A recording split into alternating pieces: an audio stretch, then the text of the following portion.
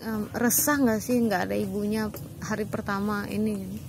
Kayaknya walaupun anak kecil dia kontak batin tuh emang ada kayaknya. Dia resah sejak kemarin dia resah. Resah dia. Jadi mungkin dia merasakan ada sesuatu yang hilang kali ya. Iya.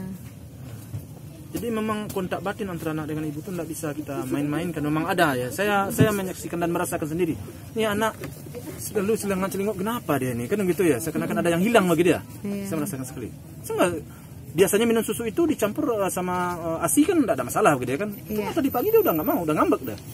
Dia rewel terus. Iya. Karena bukan mamanya mungkin. Nah, iya bukan mamanya kali. Makanya kalau ada solusi yang lain sih ya, mudah-mudahan ada tergerak hati dari pihak tahanan sana untuk mengambil satu jalan gimana caranya supaya dia bisa bersatu lagi dengan anak. Itu ya harapan saya. sih. Ada pesan Pak ke orang pejabat-pejabat itu? Ya pesan sih nggak ada. apa, Terlalu jauh saya berpesan sampai situ kan. ya, Ya. ya cukuplah sampai ya, apa ya sampai menjalankan selama satu setengah bulan. Hmm. Mudah-mudahan. Iya. Pak satu setengah bulan waktu yang cukup lama nggak sih Pak untuk mm, seorang apa Vanessa menjalani eh, hukuman dengan kondisi anak yang masih bayi? Sebenarnya untuk ukuran orang dewasa sih tidak begitu lama. Yang lamanya ini untuk anak ini. Ke- Untuk anak nih, anak ini biasanya minum ASI, sekarang nggak minum ASI. Nah masa depan anak ini bagaimana perkembangan anak ini, pertumbuhan anak ini bagaimana. Jadi untuk perkembangan dan pertumbuhan anak ini yang terlalu lama menurut saya. Kalau untuk orang dewasa satu setengah bulan, orang kena COVID ini sekarang isolasinya dua minggu, kemudian di rumah se- dua minggu lagi kan udah satu bulan kan. Iya, cepat. Tidak begitu lama itu sebenarnya. Untuk bayi ya. Ya, tapi kalau untuk bayi dengan waktu eh, satu setengah bulan ini sangat lama, sangat lama. Hmm, Eh, tadi pagi omanya sempat nangis deh karena anaknya nggak mau minum susu itu, nangis mulu. Mamanya udah ajak-ajak begini begitu, tapi dia nangis mulu. Ya udah gimana lagi? hmm, Nah si penesanya kan kayak kita nggak bisa dibesuk dulu.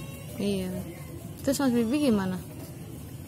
Ya Mas Bedi tadi pagi ya dia saya lihat memang harus tegar, harus tegar dia. Kalau dia bawakan ke perasaannya melihat anaknya gitu, ya kalau dia nangis nanti ah, Iya. saya nggak suka juga. Kamu laki-laki saya bilang gitu. Jangan itu biasa lah, nggak apa ini ini cobaan hidup biasa itu. Iya.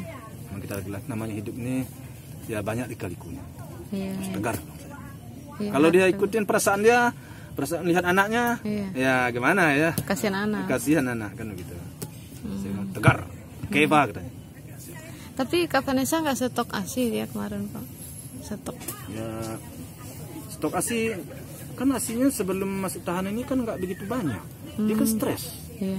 kemarin waktu di atas mobil aja dia coba mm, itu apa me- untuk stok asi nggak bisa karena asinya itu semenjak dia mau ditahan ini kan dia udah stres Iya. kalau kita stres kan air asi kan nggak keluar jadi dia udah stres sudah beberapa semenjak seminggu lah kira-kira ya seminggu dia dia ada stres jadi air, susunya itu udah nggak banyak nggak bisa di stok Terus kalau keluarga ke depannya mau mau langkahnya seperti apa nih Pak?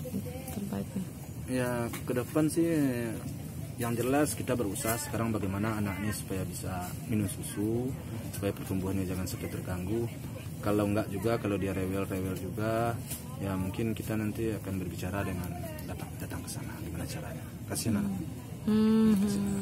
hmm. Yang kita yang kita pentingkan sekarang adalah keselamatan anak ini Hmm, Lihat beberapa minggu ini apa ya gimana? ya, ya, ya berkembang Oke, terus yang jaga di rumah sekarang siapa? ya si Febri sama mbaknya kan ada Mbaknya ada. Mbaknya. Tapi Bapak ikut apa? eh, gendong-gendong Nah,